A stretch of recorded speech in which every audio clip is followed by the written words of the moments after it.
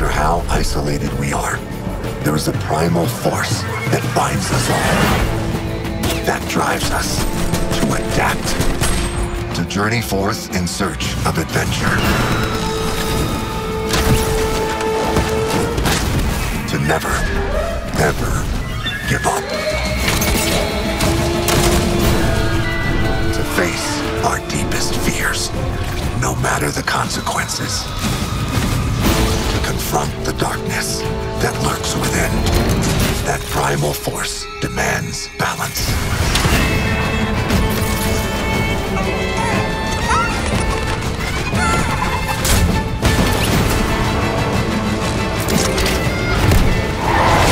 The island has grown wild, and so must you.